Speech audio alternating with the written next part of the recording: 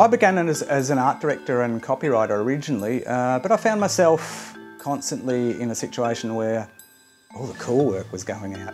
Uh, I liked, I loved what I did, and I still do. I still do the art direction, but there was just a lot of other areas in the advertising industry that I actually wanted to know about.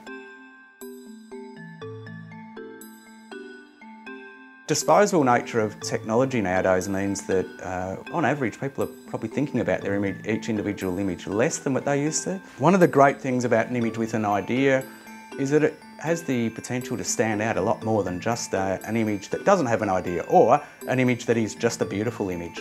This image that I retouched for a swimming school uh, the great thing about it is it starts with a good idea to begin with, the image of the fish, but the execution of it is incredibly complex.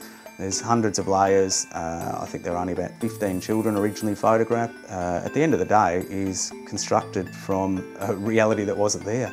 The art direction part of an image is interesting because it's where the idea comes from, but it's also how we execute it. So we end up having an image where art direction affects all sides of it, whether it's from the very beginning the very final image. Art direction isn't just about ideas, it's also about the actual execution of the image and how it actually looks at the end of the day.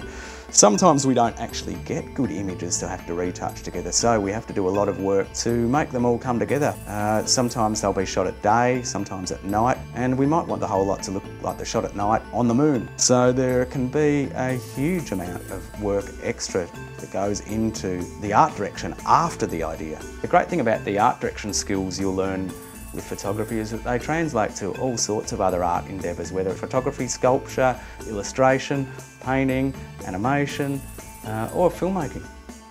We probably shouldn't limit ourselves to thinking where the ideas should come from. They can come from anywhere.